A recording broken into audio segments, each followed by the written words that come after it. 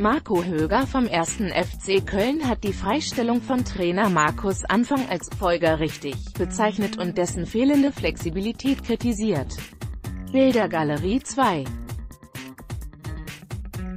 Bundesliga, Aufstiegscheck mit Köln, HSV, Paderborn, Union Berlin 27 Bilder, ich will nicht sagen eingefahren, aber er war sehr darauf versteift, sein System zu spielen, sagte Höger im exklusiven Interview bei Sky Sport News HD. Anfang sei ein Stück weit distanziert gewesen, dennoch sei das Verhältnis zur Mannschaft intakt gewesen.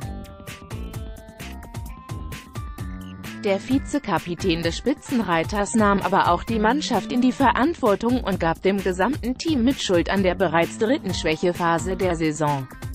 Meistgelesene Artikel Fußball 3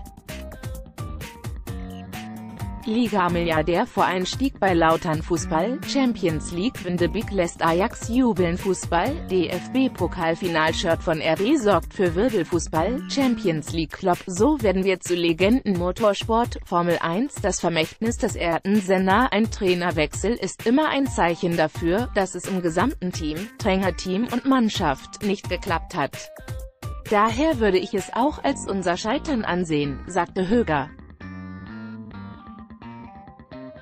Dennoch sei die Entlassung des Coaches ein Stück weit folgerichtig gewesen, denn den Verlauf der Saison haben wir uns alle anders vorgestellt, jetzt das aktuelle Trikot des 1. FC Köln bestellen, hier geht's zum Shop, Anzeige Let's Block Ads. Why?